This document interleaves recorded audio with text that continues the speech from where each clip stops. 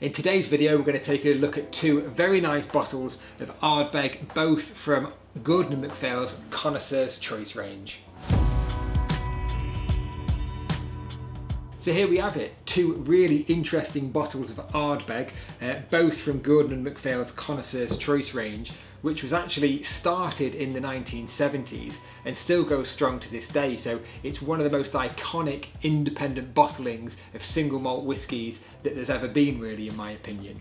So the first one here, we've got a 1965 distillation, 15 year old Ardbeg and then here we've got a 1973 2003, so arguably a 30 year, 29, 30 year old bottling here. Now, let's first of all start by looking at the bottles. Clearly these earlier bottles have got a slightly fatter neck and a slightly broader shoulder on them as well. Now this has got the uh, United, uh, the UGB, United uh, Glass Manufacturers code under it of SC999, which is exactly what you would expect from a G&M bottling of this point or any bottling from this point. And then this one has also got a United Glass bottle code of uh, SD764, which is very typical for these connoisseurs choice as well.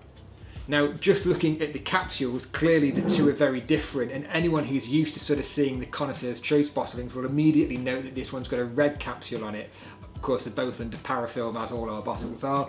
But there's an interesting anecdote in Emmanuel Dron's book, and he posits that this red cap was the possibly the first attempt of bottling with this brown or all the browns label as I like to call it which is the second edition or the second label edition from the Connoisseur's Choice range. Now this bottle is slightly later obviously bottled in 2003 this is the second version of the map label that was used by Gordon and MacPhail, which came into use in 2002. And this one's got a, a plastic stopper uh, cork closure underneath a capsule on it. Clearly this screw cap's got no capsule.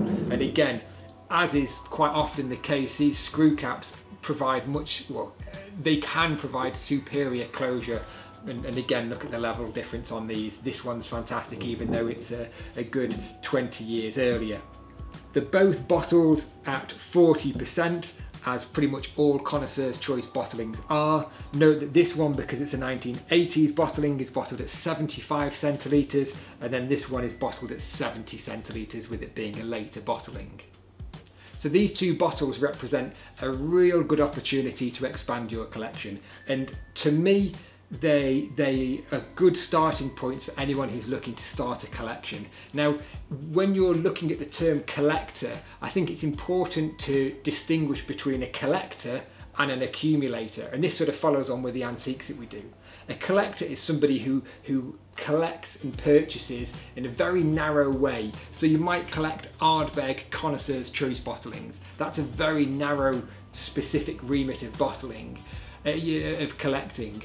But an accumulator also acquires a collection of bottles, but they do it indiscriminately. So they'll buy any single malt whiskey, or they'll buy any, you know, any Islay bottling. Now, yes, you are collecting, but there's less discrimination. And to me, and when we've helped people sell their collections, it's the narrower and more focused collections that are always able to uh, achieve a higher price because they've got a greater depth to them. So these are two connoisseurs choice bottlings. There's dozens of other connoisseurs choice bottlings of Ardbeg. So they're good options because you can go from the very first editions with the black and red labels all the way through to the Ardbeg bottlings of connoisseurs choice that are available today. Now this one, it's priced at £2,100 or somewhere in that region on our shop. So it's not a really expensive bottle, not when you consider just recently bottles of Folio 1 have been going for over £8,000 at auction. Beyond me. But anyway, this looks like remarkable value in comparison. And then this one, 29, 30 year old bottling of Ardbeg, vintaged age statement, uh, vintage and uh, bottling year declared on here. And this one's priced at a thousand pounds in our shop. So there we have it, two fantastic bottles of Ardbeg, both from the Connoisseur's Choice range, bottled by Gordon and MacPhail. This one is a 1965 vintage, uh, 15 year old, And then this one, no age statement on it, but it's distilled in 1973, bottled in 2003. So it's either a 29 or a 30 year old bottling. And if you're interested in the history of Ardbeg, make sure you head over to our website because we've just published a really in-depth and comprehensive history of the distillery, which I'll link to in the, com- uh, in, in the comments below. And if you want to learn more about these old and rare bottles, make sure you subscribe to our channel because we've got a lot more interesting content coming soon.